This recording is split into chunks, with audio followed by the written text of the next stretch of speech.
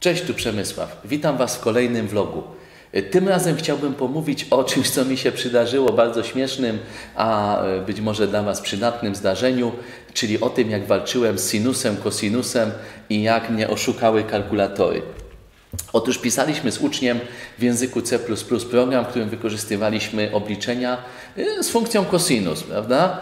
No, w zasadzie bardzo banalne, bo tam było kosinus 0 minus kosinus 1 w pewnym momencie. No i wychodził jakiś wynik, e, no i chcieliśmy sprawdzić, czy nasz program dobrze liczy i wpisaliśmy po prostu na kalkulatorze kosinus 0 minus kosinus 1 i wyszła nam dosyć dziwna wartość, inna niż w programie. No to zacząłem szukać w programie razem z uczniem, co tam się stało, co jest nie tak, no, że jakieś typy nie tak mamy, jakieś limity, no coś kuźwa, no nie wiem. Szukaliśmy, nie działa. No to dobra, no to mówię, to weźmiemy ten wzór, ten cały program, przerobimy to na arkusz kalkulacyjny. Wykonujemy w arkuszu, okazuje się dobrze, to samo co w języku C++.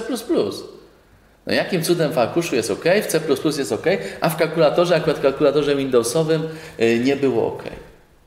No, cosinus 1 wychodził mi 0,9, a przecież pi drugich to jest, y, to jest 3,14 przez 2, czyli no ponad 1,5 powiedzmy, e, no to 1 to jest tak mniej więcej 2 trzecie drogi do pi drugich.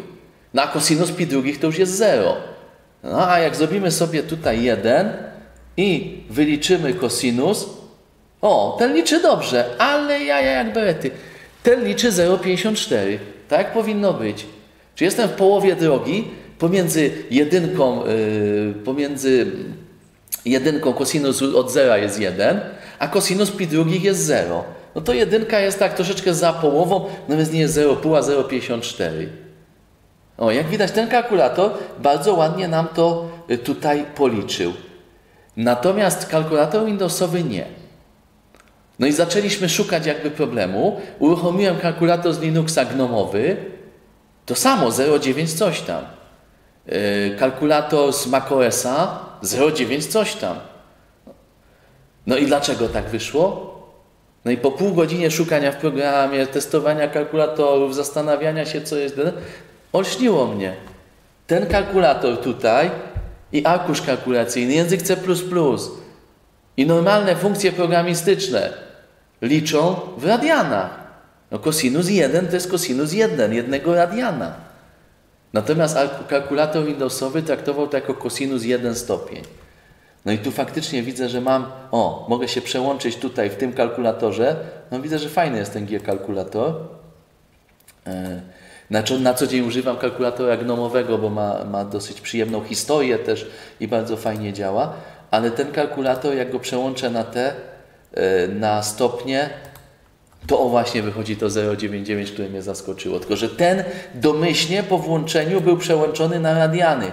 Czyli jak pisywałem 1 i cosinus 1, to było tak jak normalnie w językach programowania. Jeden radian, a nie jakieś tam stopnie, prawda?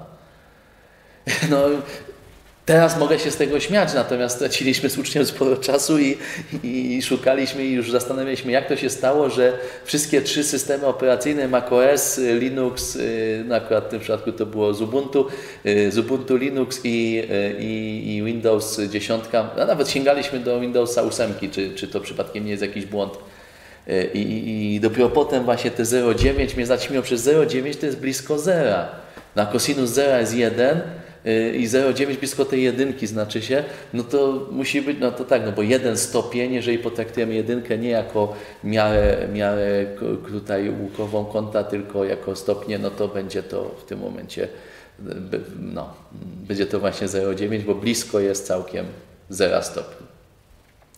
Y, także nagrywam to po to, żeby Wam tak ku przestrodze, że no, można się tutaj na to naciąć i można szukać no i żeby też zwrócić uwagę na to, że są różne miary kąta i że zazwyczaj się posługujemy radianami i że w językach programowania, tych, które ja znam, no, stosujemy radiany, no, bo radiany są liczbą, prawda?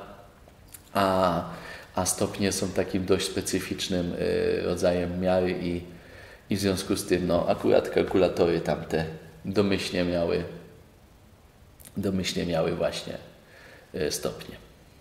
Nawet nie wiem, czy się da przełączyć w tym kal- kalkulatorze Windowsowym na, na niestopnie. Tu jak widzę w tym y, G-kalkulatorze, to nie jest Gnome kalkulator, to jest jakiś G-kalkulator właśnie. Ja używam Gnome kalkulatora, on domyślnie właśnie też miał, miał stopnie.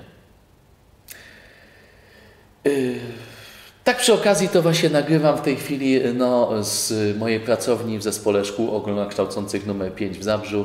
Y, Także no, jak widzicie sceneria inna, no i podejrzewam, że dźwięk też wyjdzie inny, dlatego że jest to duże pomieszczenie, jest tutaj echo i no, myślę, że dźwięk przez to nie będzie zbyt, zbyt przyjemny. Muszę tu poeksperymentować coś z tym dźwiękiem jeszcze, a jeszcze tu nic nie nagrywałem żeby faktycznie dźwięk nie był jakiś taki jak z wiadra. Mam nadzieję, że nie będzie mocno z wiadra. Mikrofon mam blisko, więc jest nadzieja, że, że po prostu te echo nie będzie aż takie znaczące. No i żegnam Was i do zobaczenia na następnym odcinku, czy to vloga, czy to moich poradników różnego typu. Cześć, pa, do zobaczenia.